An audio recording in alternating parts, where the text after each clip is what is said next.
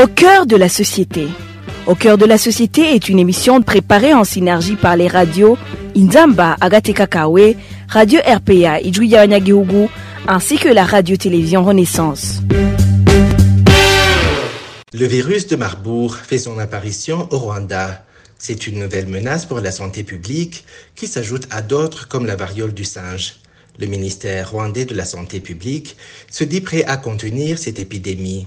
Au cours de ce mini-magazine Au cœur de la société, nous allons évoquer les symptômes de cette maladie virale, les mécanismes de prévention, ainsi que les comportements que la population doit adopter pour limiter les risques de propagation. Au cœur de la société vous est présenté par Pierre Garongo. Bienvenue.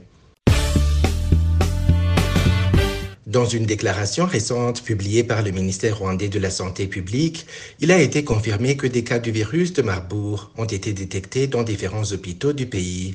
Le communiqué précise que des mesures strictes de prévention ont été immédiatement mises en place pour isoler les patients et éviter une transmission plus large. Des équipes médicales sont mobilisées pour identifier les personnes ayant été en contact avec les malades et intensifier la sensibilisation dans les zones touchées.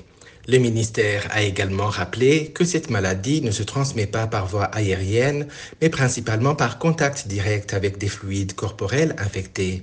Dans l'après-midi de ce samedi, le ministre de la Santé publique, Dr Sabin Sanzimana, a rassuré que, avec les partenaires du Rwanda, ils sont à l'œuvre pour maîtriser cette épidémie malgré les dégâts qu'elle a déjà causés, avec 6 décès et 20 cas détectés.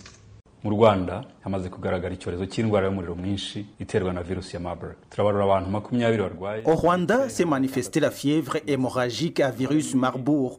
20 personnes ont été contaminées et 6 autres ont été emportées par cette maladie. La plupart des patients et des personnes décédées étaient parmi les agents de santé, surtout ceux qui travaillaient dans les urgences. Au niveau du ministère de la Santé, d'autres institutions étatiques et des partenaires, nous sommes en train d'identifier les personnes qui ont été en contact avec les patients ou les personnes décédées. La transmission de ce virus se fait à travers des contacts avec du sang, des sécrétions du malade ou le partage du matériel ou des habits utilisés par le malade.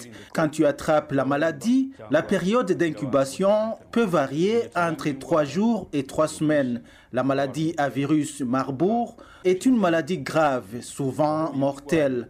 Nous sommes en train de tout faire pour que les cas suspects soient dépistés à temps et les patients soient suivis pour éviter qu'il y ait des cas graves ou des décès supplémentaires liés à cette maladie. Parmi les symptômes de cette maladie, on peut citer une fièvre élevée, des maux de tête, des vomissements, une diarrhée, etc.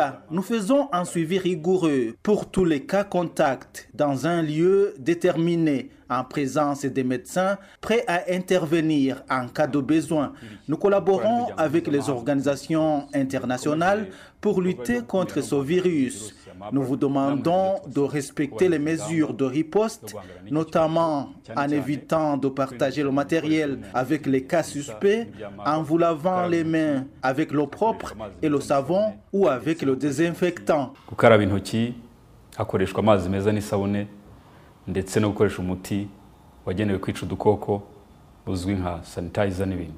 Dans un contexte où les épidémies continuent de mettre à l'épreuve les systèmes de santé, le virus de Marbourg s'ajoute à d'autres crises sanitaires, comme la variole du singe, qui ravage actuellement la région, et ce, après une pandémie de Covid-19 qui a frappé le monde de plein fouet.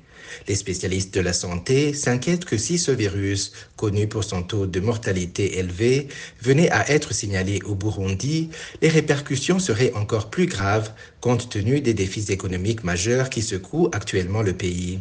Les moyens limités pour contenir une telle épidémie et l'absence de ressources suffisantes pour traiter les cas pourraient aggraver une situation économique déjà critique.